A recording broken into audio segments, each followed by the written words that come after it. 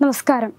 മതപരിവർത്തനം നടത്തി മുസ്ലിം യുവാവിനെ വിവാഹം കഴിച്ച യുവതി മരണത്തോട് മല്ലിട്ട് ചികിത്സയിൽ കഴിയുന്ന വാർത്തയാണ് ഉത്തർപ്രദേശിലെ മൊറാദാബാദ് ജില്ലയിൽ നിന്ന് പുറത്തുവരുന്നത്. ഗൽഷാഹീദ് എന്ന പ്രദേശത്താണ് ഈ ഒരു ദാരുണ സംഭവം നടന്നിരിക്കുന്നത്. ഹർഷിത എന്ന യുവതിയാണ് കോമ സ്റ്റേജിൽ ആശുപത്രിയിൽ നിലവിൽ ചികിത്സയിലുള്ളത്. ഭർത്താവ് മുഹമ്മദ് ഹുസൈൻ. യുവതിയെ കഴുത്ത് ഞെരിച്ച് കൊലപ്പെടുത്താൻ ശ്രമിച്ചതായി പെൺകുട്ടിയുടെ വീട്ടുകാർ ആരോപിക്കുന്നുണ്ട്. പബ്ജി കളിക്കുന്നതിനിടെയാണ് മുംബൈ സ്വദേശിനിയായ ഹർഷദ മുഹമ്മദ് ഹുസൈലിനെ പരിചയപ്പെടുന്നത്.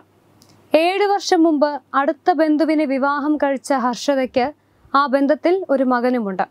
പിന്നീട് ഭർത്താവുമായി വിവാഹമോചനം നേടുകയായിരുന്നു. ഇതിനിടെയാണ് മുഹമ്മദ് ഹുസൈലിനെ പരിചയപ്പെടുന്നതും പ്രണയം തുടങ്ങിയതോടെ വീട്ടുകാരുടെ എതിർപ്പിനെ അവഗണിച്ച് ഹർഷദ ഇസ്ലാം മതം സ്വീകരിക്കുകയും ചെയ്തു. സീനത്ത് ഫാത്തിമ എന്ന പേര് മാറ്റി മുഹമ്മദ് ഹുസൈലിനെ അവർ വിവാഹം കഴിച്ചു.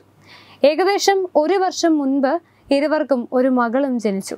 ഇതിനു ശേഷമാണ് ഹുസൈൻ ഹർഷദയെ ക്രൂരമായി പീഡിപ്പിക്കാൻ തുടങ്ങിയതെന്നാണ് ഹർഷദയുടെ വീട്ടുകാർ ആരോപിക്കുന്നത്. ഹുസൈൽ പെൺകുട്ടിയെ ഗർഭപാത്രം വാടകയ്ക്ക് നൽകുന്ന ചില ആശുപത്രികളിൽ എത്തിച്ചതായും ഇതിലൂടെ വലിയ വരുമാനം ഹുസൈലിന് ലഭിച്ചുവെന്നും റിപ്പോർട്ടുണ്ട്. ഏപ്രിൽ പതിനഞ്ചാം തീയതി ഹർഷദ അമ്മ മാധുരിയെ വിളിച്ച് ഹുസൈൽ തന്നെ മർദ്ദിക്കുകയും ഉപദ്രവിക്കുകയും ചെയ്യുന്നതായി പറഞ്ഞു.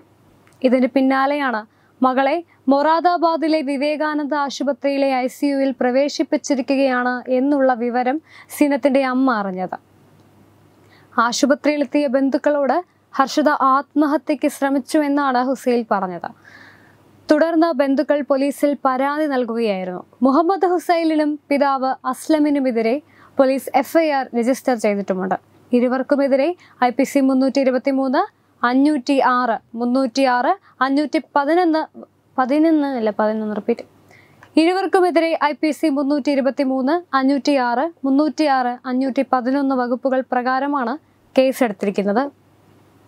Web desk Tatwamayi news.